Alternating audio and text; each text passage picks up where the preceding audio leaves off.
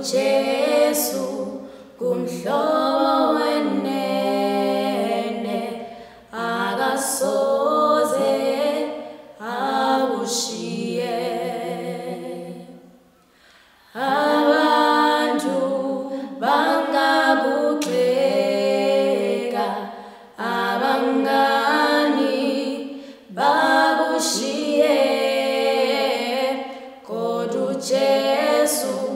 ngumhlobo wenene akasoze akushiye. Nendifanele kuyolanda yi-respect uyolanda uyabarespekta abantu and uyabathanda abantu uyathanda uncuma. Ufriendly yolanda ya. Loo nto ndifuna kuyala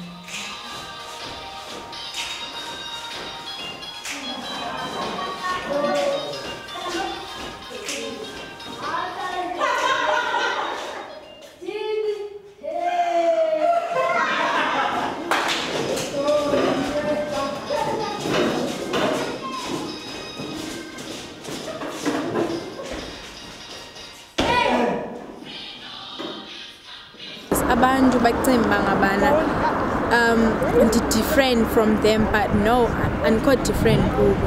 I think people would like to accept me as the way i am not want me to live in their expectations